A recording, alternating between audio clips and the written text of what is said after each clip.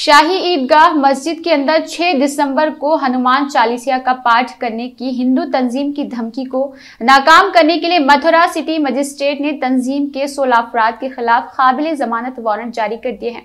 मथुरा के एसएसपी मदन प्रकाश सिंह ने कहा कि तंजीम ने कोई इजाज़त नहीं ली है और दो तो अफराद के खिलाफ केस दर्ज हो चुके हैं।